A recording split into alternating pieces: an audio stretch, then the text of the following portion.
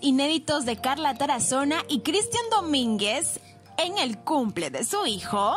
En Cuchos, Magali Medina reveló imágenes de la fiesta de cumpleaños del hijo de Carla Tarazona y Cristian Domínguez, donde se ve que la expareja tiene confianzas e incluso en un momento se puede ver al cantante acercando una cuchara a la boca de su expareja. La popular Magali Medina enfatizó que le sorprende que Carla Tarazona esté en coqueteos con Cristian Domínguez cuando sabe de qué pie cojea.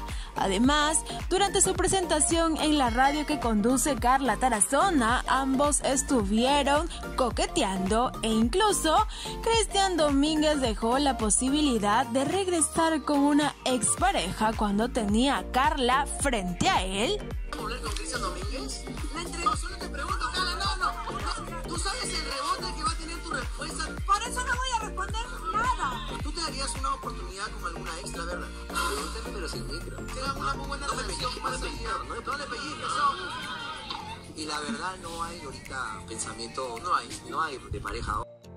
Cristian Domínguez defiende sus coqueteos con Carla Tarazona. ¿Habrá remember? Durante los últimos días, la cercanía entre Cristian Domínguez y Carla Tarazona ha saltado las alarmas por una posible segunda oportunidad en la pareja.